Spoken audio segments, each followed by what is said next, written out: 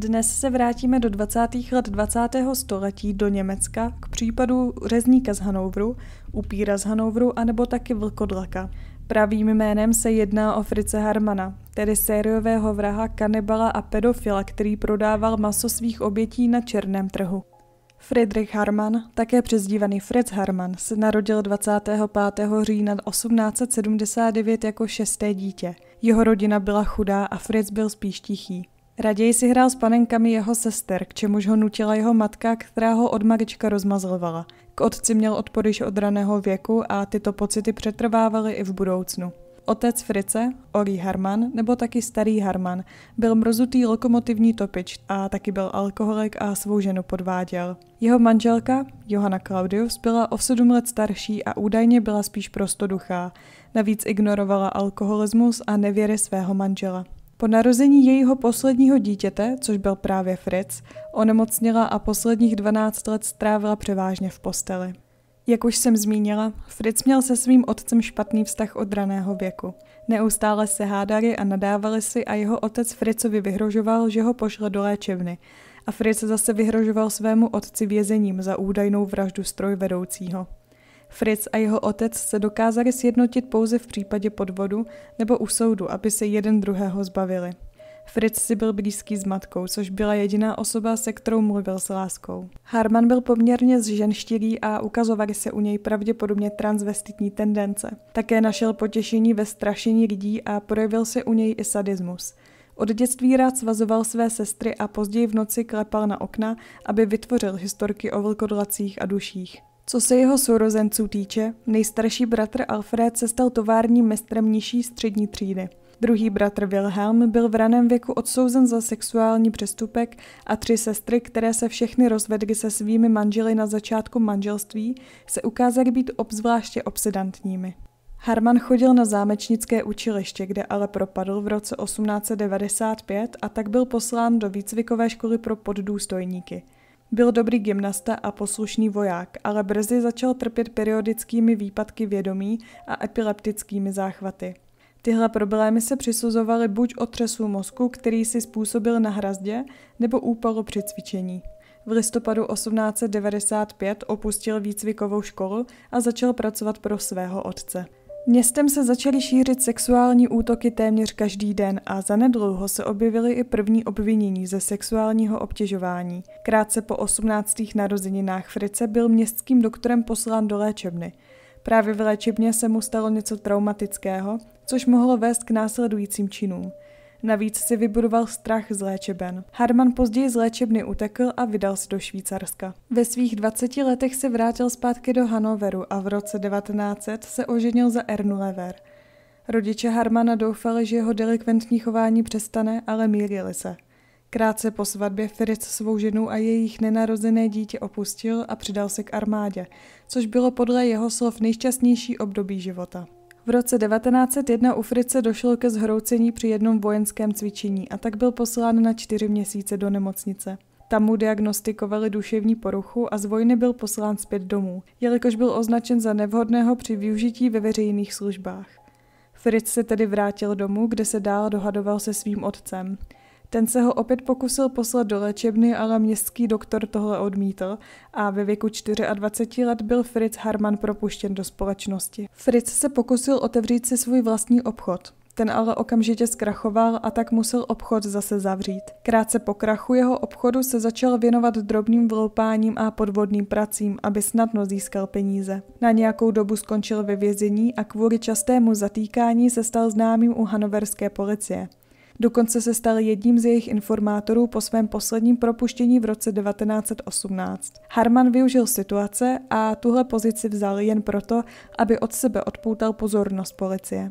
Současně končila první světová válka a Harman, stejně jako miliony ostatních lidí, byl tvrdě zasažen způsobenou národní chudobou. Fritz Harman také porušil několik přestupků týkající se sexuálně trestných činů, které ale úřady nezaznamenaly. Oběti totiž na policii nešly. Harman s vraždami začal již v roce 1918, tedy v době, kdy Německo zažívalo krizi kvůli první světové válce. Mladík jménem Friedel Roth zmizel 25. září 1918 z jeho domu a pouze za sebou zanechal vzkaz, že se vrátí, až jeho matka bude zase hodná. Při pátrání po tomto mladém muži jeho kamarádi řekli policii, že byl pravděpodobně sveden nějakým mužem.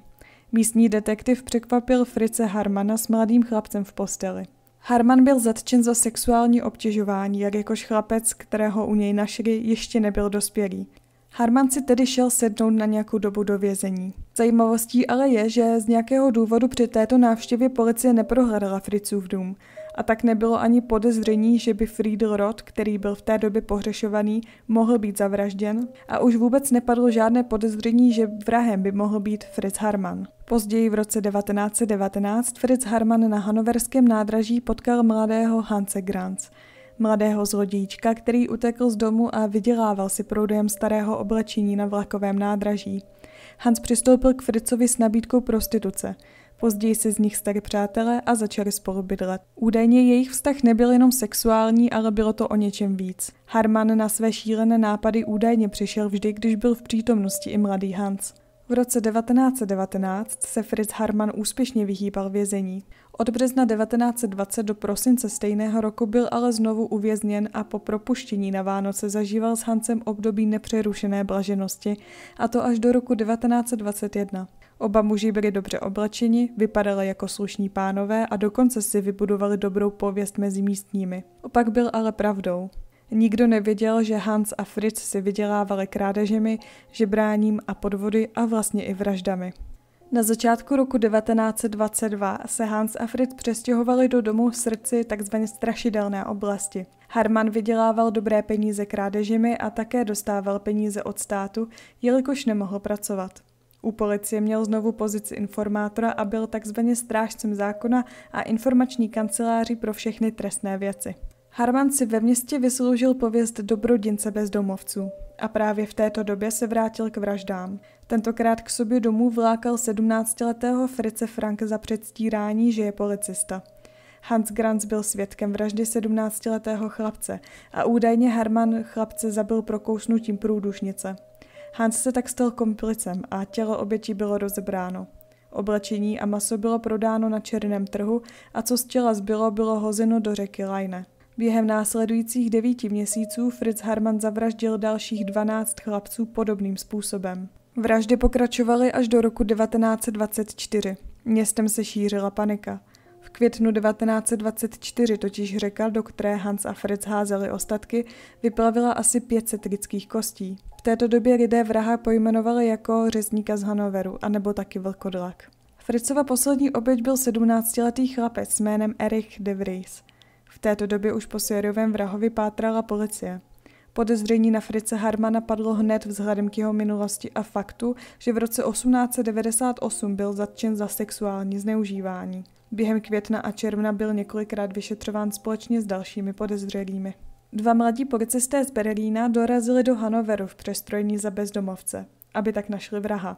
Vrah, kterého hledali, se totiž zaměřoval na chlapce, kteří zrovna utekli z domu, anebo byli dlouhodobě bezdomova. Fritz se v té době hádal s 15-letým Karlem From, který strávil několik dní v bytě Fritze Harmana. Karl From byl podle Harmana ten večer velmi drzý a rozhodl se ho nahlásit na železniční policii za falešné doklady. Karl From byl předveden na policejní stanici, kde Harmana obvinil ze sexuálního zneužívání. Policie se rozhodla podezřelého okamžitě zadržet. Harman byl 23. června 1924 převezen do vězení. Fritz tvrdil, že chtěl, aby Karl From byl vzat do vazby. Bál se totiž, že nutkání zavraždit chlapce už moc dlouho nevydrží. Případ přesto nebyl zdaleka tak jasný, jak by naznačovaly podstatné důkazy. Několik stovek kusů oblečení nalezených v Harmanově pokoji bylo identifikováno jako majetek pohřešovaných. Nic ale nenapovídalo tomu, že Fritz Harman byl vrahem. Tvrdil, že oblečení získal pouze obchodem. Také připustil, že má sexuální vztahy s těmito dětmi, ale tvrdil, že neví, kde se děti nachází. Jednou z těchto obětí byl také chlapec jménem Robert Witzel, jehož rodiče nepřetržitě obléhali policii od zmizení jejich syna 26. dubna 1924. Když byly později v tomto roce nalezeny první lepky, pan Witzel byl přesvědčen, že nepravidelná čelistní kost jeho syna byla jednou z objevených lebek. V tuto chvíli bylo známo pouze to, že Robert navštívil místní cirkus v noci svého zmizení se svým nejlepším kamarádem Fritzem Kalmeyerem. Fritz Kalmeyer byl tichý, pravděpodobně kvůli tomu, že nechtěl přiznat, že byl také sexuálně zneužit. Chlapec řekl pouze to, že v ten den cestovali do cirkusu s policejním úředníkem z nádraží. V bytě Hermana bylo nalezeno Viclovo oblečení, ale ani tak se Herman k vraždě chlapce nepřiznal. Zlom přišel v momentě, kdy na policejní stanici vstoupil pár, který zrovna prošel kolem manželů Viclových. Paní Viclová okamžitě poznala bundu svého syna a ptala se, odkud chlapec bundu dostal. Chlapec sdělil, že bundu má od Frice Hermana a dokonce poskytl identifikační kartu Roberta Vicla, která stále byla v kapse. V tu dobu byla shodou náhod na policejní stanici i paní Engel, což byla Hermanova domácí. Vyřizovala mu vojenský důchod. Harman se přiznal k dvěma vraždám a po sedmi dnech záchvatu se Harman přiznal i k vraždám ostatním. Harman pak přivedl policii na místa, kam házel ostatky svých obětí. Ostatky byly schované v keřích a kosti se stále vyplavovaly z řeky. Postupem času více a více lidí přicházelo se svědectvím, že si od Harmana koupili buď maso, anebo oblečení. Během vyšetřování se Fritz Harman více otevřel. Mluvil o svých činech a dokonce to vypadalo, jako kdyby se mu ulevilo, že už o tom může mluvit. Ve výslechu také popsal, jak s těry zacházel. Podle jeho slov napřed udělal dva řezy v oblasti břicha, poté odstranil střeva a vložil je do kbelíku. Pak nasákl krev a rozdrtil kosti. Poté se zbavil srdce, plic a ledvin a také je dal do kbelíku. Odstranil maso z kostí, které vložil do látkového pitlíku a zbavit se ostatku jedné oběti mu prý trvalo pět až šest cest k řece nebo na jiná místa. Sám také řekl, že nenáviděl tohle dělat, ale údajně si nemohl pomoct. Policii tvrdil, že obětí zabil 50 až 70.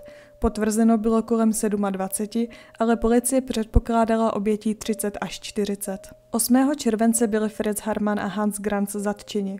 Harman byl ve vězení do 16. srpna a poté byl poslán na psychiatrické vyšetření do Göttingenu. Soudní proces začal 4.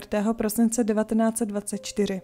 Ve 20. letech 20. století ještě nebyl termín pro sériového vraha a proto ho nazývali vlkodlakem či upírem. Soudní proces trval dva týdny a bylo předvoláno asi 200 svědků. Nakonec dostal trest smrti společně s Hansen Grants. Před popravou se Harman ale přiznal, že Grant se křivě obvinil a ten nakonec dostal 12 let ve vězení. 15. srpna 1925 byl Fritz Harman popraven na gilotině. Harmanova hlava sloužila pro vědecké účely a do roku 2014 byla uchovávána na lékařské fakultě v Göttingenu. Toho roku ale byla hlava Harmana spálena.